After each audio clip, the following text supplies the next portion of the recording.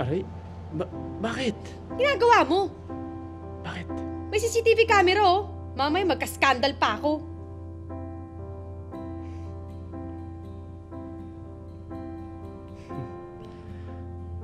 Dami mong sinasabi eh.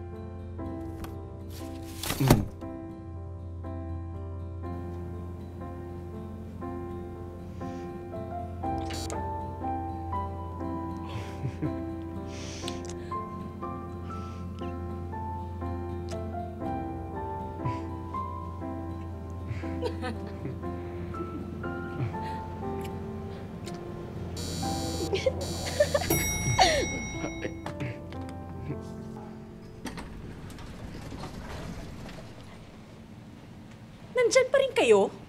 Bakit ka nakapayong? May tulo?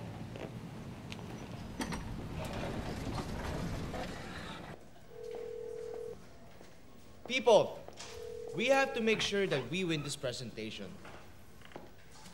Para tuluyan na ma-dissolve ang department ni EVL. Check your marketing plans. Ako, I have a copy ng marketing plan nila. Care of Mr. Zach Estrella. And all we have to do now is make a better version of their version. And we will win! Ang galing! Ang tindi niyo, sir! Be inspired, get back to work. Tindi.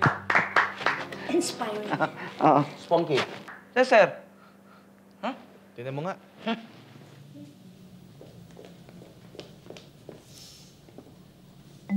Um, sir, wala na pong tao, sir. Uh, get back to work. Come on.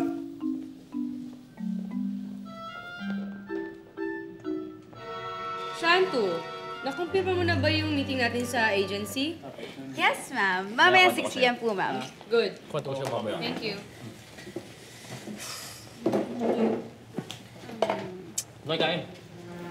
No, no. May problema ka? Traitor key! Ano? May natuklasan ako! Nonoy, kung ano man yung natuklasan Eh, ma'am, kasabwat po nito si Sir Henry. Magsutungan na lang kaya tayo. Sir, dito! Ito! May porket patangkad ka! Maratihin kita yan! Tama na! Mas, no, hindi! Chong, madidissolve tayo dahil dito! oh. Noy! Lang Ano? Tama na!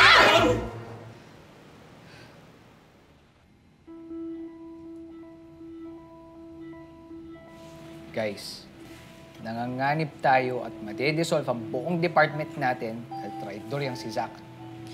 Zach? Totoo ba ito? Ganito kasi yung nangyari nun. Nasa boardroom tayo nun. Bigla na lang nawala yung folder na binigay mo sa akin. Hindi ko alam kung saan napunta. Pero that same afternoon, pagbalik ko sa desk ko, nandun na ulit yung folder. Hindi ko lang alam na nanakawin pala ni Henry yun. Hindi mo kasi alam kung gaano ka-epa lang lalaking yun. Sinungaling. Magsabot naman talaga kayo ni Sir Henry.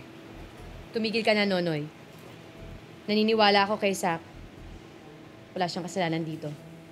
Itigil niyo na ang mga drama niyo dyan. Ang kailangan nating gawin, baguhin ang plano at strategies. Go back to work.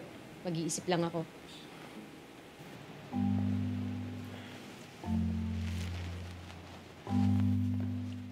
Pasensya na, Chong. Nakawag kitang traidor. Wala yun. Naintindihan ko naman. Totoo ba yun? Pinagtanggol ka ni EVL? Hindi ka na pagalitan kahit na wala mo yung, yung materials niya?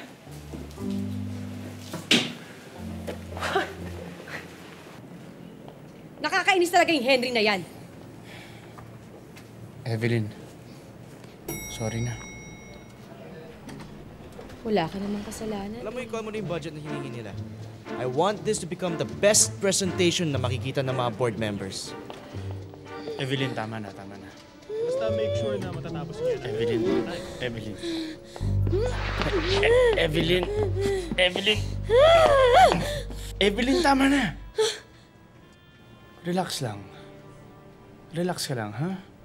Alam ko ano kailangan mo. Ha?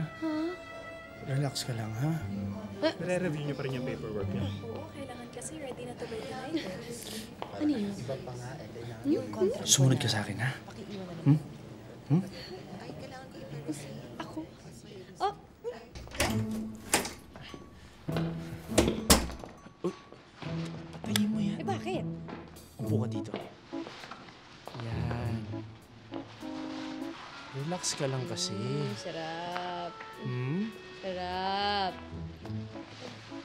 Diinan mo kasi. Sarap yun, no? Ah! Mm, Shit! Ang sarap! The best to, no? Ah, sarap. Sige pa. Kailangan kasi relax ka lang. Ah. Ay! Takot, takot. Dali,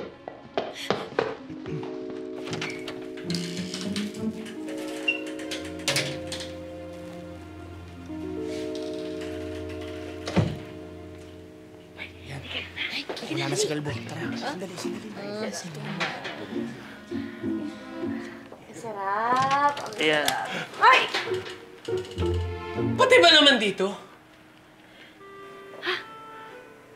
Ayaw ni Ninoy niyan. Ano daw? Huwag ka mag-alala. Eh, kaibigan ko na to. Kaibigan ko na to. Um, Evelyn. May limandaan ka ba dyan? Hindi ko nadala yung cash ko eh.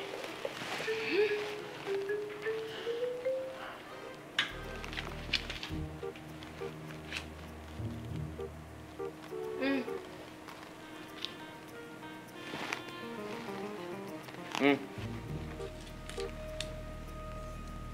Dirty? Bye. Alam mo minsan, Zach, ako naman ang maghahatid sa'yo. Ano, gamit yung Ferrari mo?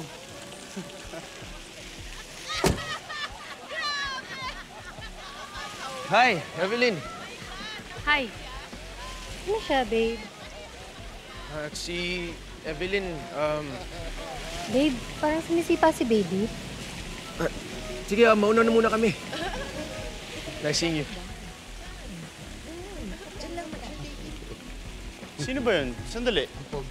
Evelyn, yun ba yung ex mo? Hindi ba kakabreak yun lang? Wala pa dalawang buwan. Ba't ang laki na siya ng babaeng yun?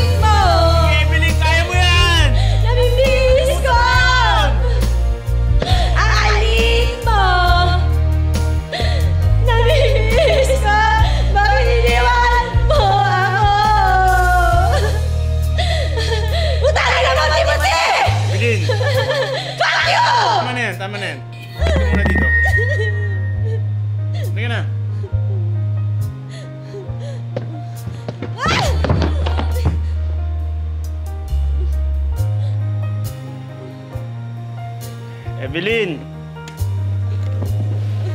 Evelyn! Ano ba kung anong kailangan mo? Ha? Alam ko na kung anong kailangan mo eh.